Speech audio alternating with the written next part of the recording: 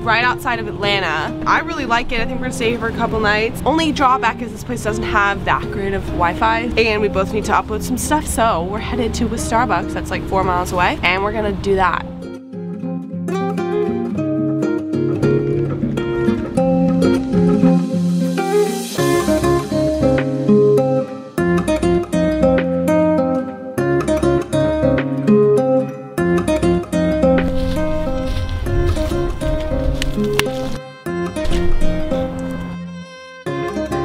Kroger and we saw firewood and we were like, oh my god. And this is like the nicest day yet. Like it's not freezing cold. And so we're like, let's make a little fire.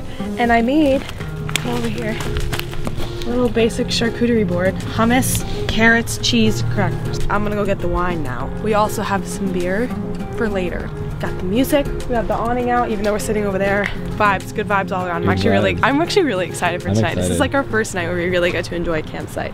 Look, look, look. Get a little going. huh?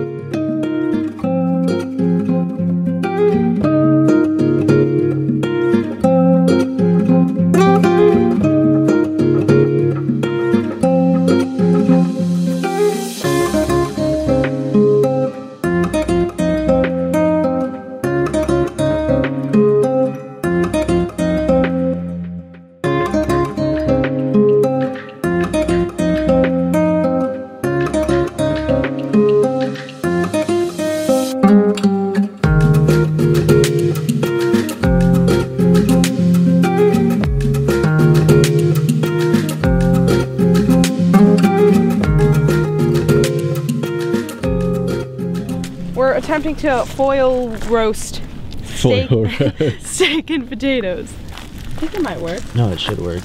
It's really good. Overall thoughts on this uh, site we're at here? I love it. It's Pretty. excited for it to be in season because this is a little preview. That's very unfortunate. Oh, they're about done.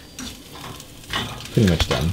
Just good. finished them off on the stove. And then we got some chips and salsa, and then we're gonna watch a new TV show. Animal Kingdom. watching. So Animal good. Kingdom. Dinner of Champions! These taters look good. Oh yeah. You can see how it works. Uh, So this campsite actually has laundry and it's not coins. Thank God, because I have no coins. I just searched everywhere and then I went and asked the guy at the front. I was like, so I assume the laundry machine takes coins. He's like, no, it takes card. I was like, thank God, because I don't even have cash, which is dumb. Don't do that.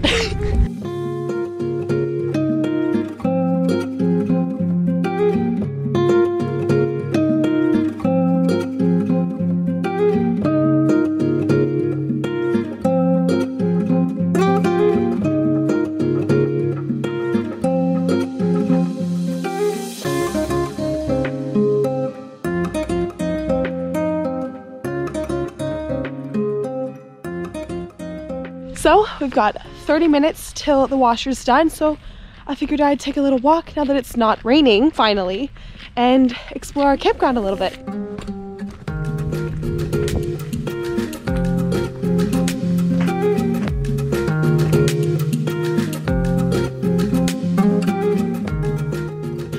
Your wash on the road really is not that hard. Um, a lot of the times campsites like this will have them and you can just check on their website or on any different app that you're using like Campendium or The Dyrt um, and they usually will have a list of amenities and you can see on there if they have a washer dryer. They normally are just a few bucks extra, coin or card, so I would just have both just in case. And then the other way is just searching for a nearby laundromat if the campground doesn't have one. This is another easy old school way of doing it. Those are the two main ways I do my laundry on the road. Um, I did that when I was car camping as well and it worked great. But if you have any other ways that you do your laundry on the road, comment them below. I'd say the only other way I do it is if I'm near a family friend's house and I'm going to visit or staying there for a night, I'll run a load there just to do it. But yeah, those are the two main ways.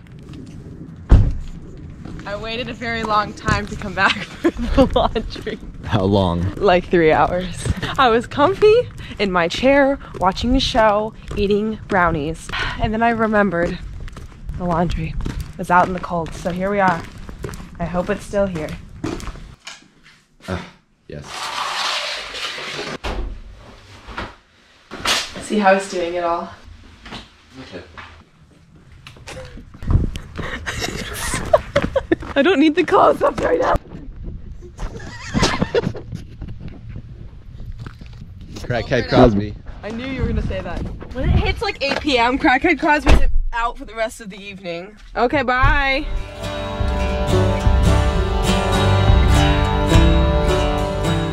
So we just drove into a campsite. As you can see, it's very dark out and we have almost a full tank of the gray tank and the black tank. So we're dumping in the dark. This is one of the glamorous parts of RV life, so it'll take you along for the ride. I'm getting the poop tube. Oh, we love the poop tube.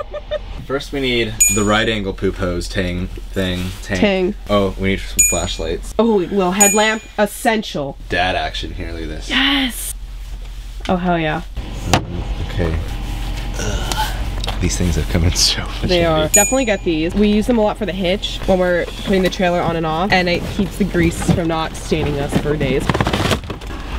All right, so very important. If you look under here, you see we got a black pull tab and a, a gray one. So obviously, gray tank, black tank. Nothing usually will come out unless you have the things pulled. Twist. What I don't know it? you're supposed to put this thing, but I am too lazy to figure it out right now. Yeah, we got this at Walmart, opened it up, and the other attachment wasn't in it. So someone had gone in there and just grabbed it for themselves. So we had to go get another one at an RV store, but we'll hook that up later. Enough. And so this like flushes it out. Yep. Optimal flow. Get those kinks out. Here she goes. Whoa. See, it's all soapy because it all comes from the. It'd be uh, flowing. So basically, you turn this on, it'll flush out the tanks. Woo! So the black and gray tank, they were like almost all the way full. Now they're down to green, empty. Fresh tank is empty, so we're about to fill that. You can see it's red. You're good. Just keep going. Perfect.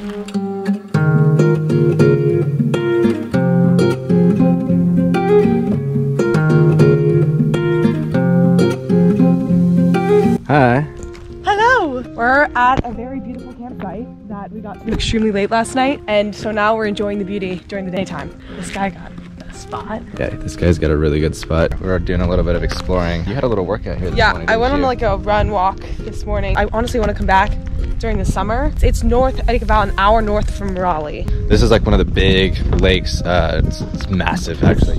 You can bring your boat out here. I'm See sure people bit. go swimming in the summer.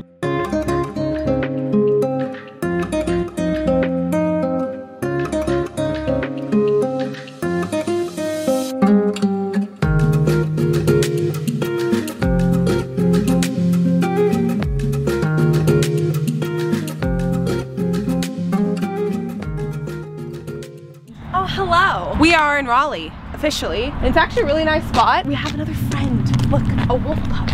Hello. Hello, sir. We're behind some restaurants, but most importantly, we're by a Cabela's. We haven't even gone in the trailer yet, and we're about to just go frolic around in the Cabela's. Time Not gonna buy anything. Yeah, that's probably not gonna happen. Uh, Stay well, tuned.